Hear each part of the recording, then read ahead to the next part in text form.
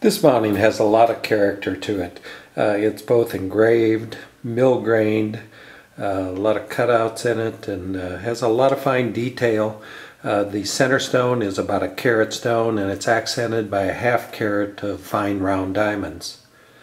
It's available in any metal, uh, white gold, yellow gold, platinum, uh, can be made for any size or shape center stone.